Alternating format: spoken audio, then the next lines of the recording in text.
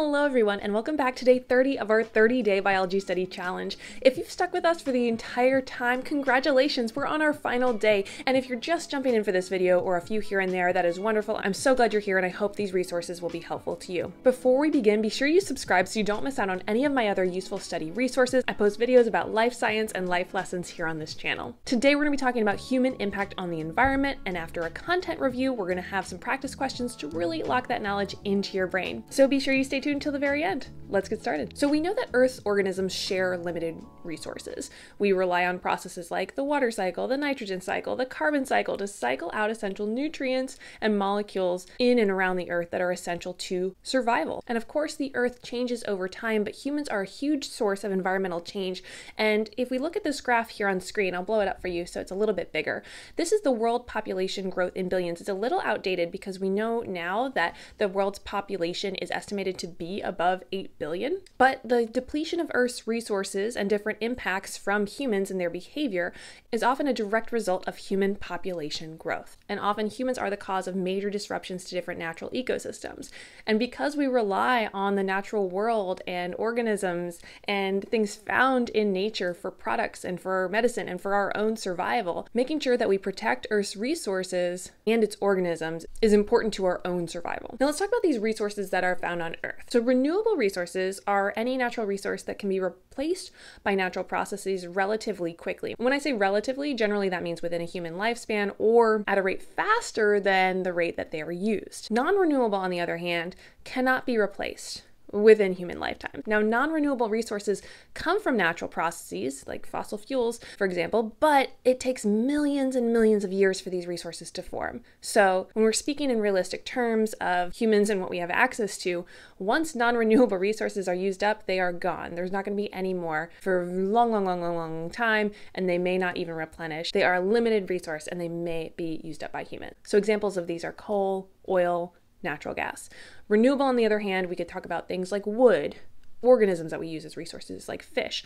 But it's important to note that renewable resources can become non renewable if humans use them up too quickly. Now, I want to talk a little bit about the ozone layer. Now, this is an interesting case of human impact. And the hole in the ozone layer we know is primarily caused by CFCs or chlorofluorocarbons, which are chemicals that come from things like old aerosol sprays. And these have actually made an increasing hole in the ozone layer. Now, the good news is that after mitigation, after some laws that went effect banning CFCs in certain products, we have started to see a decrease in the hole in the ozone layer, uh, which is really good. But this is the progression of the hole from 1979 to 2008. So you can see in these images they're getting bigger, but in the recent years we have seen data to show that this hole is shrinking. So that's some good news. But the ozone layer protects Earth from harmful radiation, UV radiation, and we know that compounds in certain products have damaged this ozone layer. One thing students often confuse is that the hole in the ozone layer is a major contributor to global warming. And those are actually two separate issues, so let's talk about both of them. Global warming is an increase in the average temperature of the biosphere on Earth. It's mainly a result of burning fossil fuels and introducing greenhouse gases into the atmosphere, which trap heat at a higher rate than normal. And alongside global warming, we see other issues like rising sea levels, coastal flooding, melting of polar ice caps, melting of glaciers, all of which can have devastating effects on the environments and the people who live in those areas. Now, there are other activities that humans can do that cause disruptions, not on such a massive global scale, but on a scale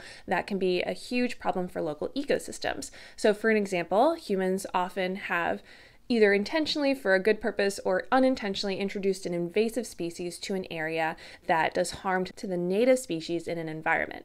Now, an invasive spe- species is a non native species, so something that wasn't originally from that place, that comes and does harm to the local ecosystem. A really common example of this is kudzu in the southeast. It was introduced as a decorative vine, something used in erosion control, and it has completely overtaken local ecosystems, totally covering native plants blocking out the sunlight, out competing native species and reproducing at a faster rate which then decreases the overall biodiversity of the ecosystem, which we talked about in yesterday's video. Human activities can also introduce new diseases to an area. Elm disease was a tree disease that was introduced, totally devastating, and often we see more of this with the increased movement of humans and human activity on the planet. And of course, habitat change is a huge driver of species either becoming threatened, and habitat change, of course, is a huge threat to different species. Actually, habitat loss is the number one reason species are at risk of becoming extinct. Habitat loss can occur for a number of different reasons from human activity. So, pollution, pollution in an area could destroy habitat. For example, certain chemicals or gases could kill off native species that different organisms rely on to survive. This can obviously come from the burning of fossil fuels, but also chemicals, runoff.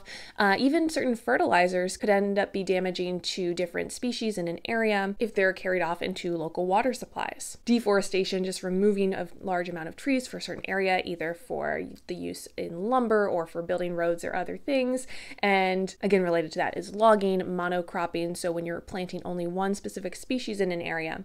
Uh, and industrialization is in just any area is a good example of this, but as more nations become industrialized, we see more and more of this habitat change in local ecosystems. So a lot of this sounds like bad news, and um, when a lot of students hear all of these things that humans do that can disrupt local ecosystems, a lot of times they think, okay, well, I can't do anything about that, or well, just humans are all bad and everything we do is going to harm the environment. But that's not true. There are other ways, or plenty of ways, where humans can have a positive impact on the environment. So the classic reduce, reuse, So if we reduce our consumption of certain resources, or we recycle and compost our resources. So instead of generating more waste, which causes more problems in environments, if we're composting, we're reducing the buildup of things like methane gas in landfills, and it's going back into the ground where decomposers can do their work and return those molecules into biogeochemical cycles that are healthy for environments.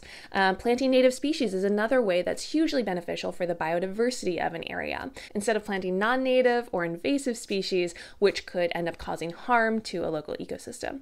Of course, supporting sustainable practices. A lot of this is out of our hands as individuals, but we can support companies that have sustainable practices or vote for legislation that we know will support the environment. And of course, advocating for environmental policies. Like I said before, when we banned the use of CFCs in certain products, that actually did have an effect. We stopped increasing the hole in the ozone layer, and it is ending up starting to heal. If you're interested in these topics, I would recommend looking into an environmental science, like AP Environmental Science course, or if your college or university has topics on this. Environmental studies are a really fascinating and important key area of science that will affect our lives and the lives of those in the future. All right, so let's do some practice problems before we end today. As we go through these, feel free to pause me, mute me, or go at your own pace through these questions. Remember, make sure to use these in the way that best serves you and your learning. Let's get started. Fertilizers may negatively impact a local ecosystem because they can A. Be absorbed by plant roots, B. Cause mutations in all insects. C. Be carried into local water supplies. Or D. Cause atmospheric pollution. Think about it. Correct answer is C.